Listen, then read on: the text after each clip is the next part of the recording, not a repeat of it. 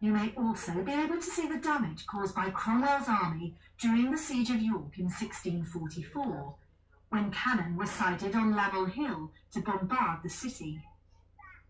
The Roundheads knew that they couldn't break through the gates and tried to tunnel under the Barbican instead, but they were discovered and failed to get in.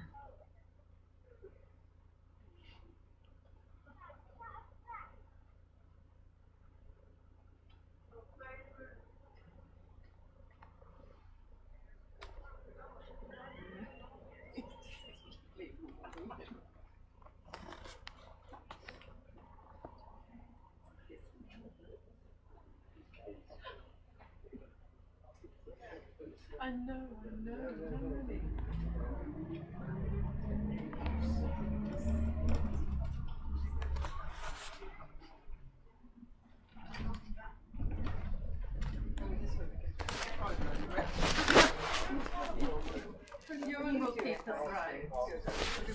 This stretch of the city wall was the last to be built because the River Foss and the King's Fish Pond were thought to be sufficient defence. The mound and ditch were built about 1215 and the stone wall added about 10 years later. This is where York's cattle market was from 1827 until the 1960s, when it moved again to Murton outside the city. For over 120 years, Irish cattle were shipped to Holyhead, then brought by train to York, before being herded through the streets from the railway depots. As we pass the Barbican complex and turn left into Fawcett Street, look to your right to see Fishergate Bar, one of the city's minor gateways. This was the site of an anti-poll tax riot in 1489, when houses near the bar were burnt. Just two years before that, Lord Mayor William Todd had the city wall here repaired at his own expense, so it was hardly surprising that the bar was then bricked up. It... Fishergate is the road to Fulford, site of the battle which the Norwegians Harald Hardrada and Tostig won in 1066. They were then defeated by the English king Harold Godwinson at Stamford Bridge, 10 miles away, after which Harold himself set off to meet his end at the Battle of Hastings.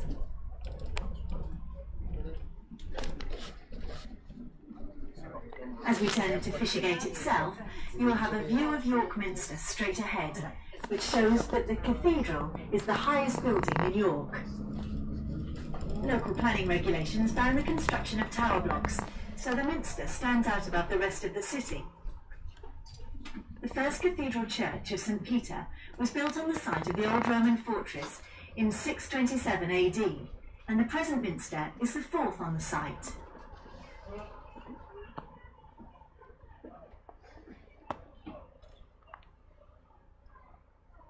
First three cathedrals were destroyed by fire, one of them in 1069, when William the Conqueror's army burnt York to the ground. And even this minster has had three serious fires, in 1829, 1840, and most recently, in 1984.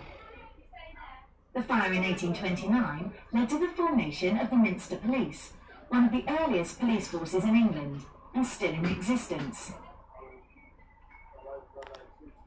Thank you.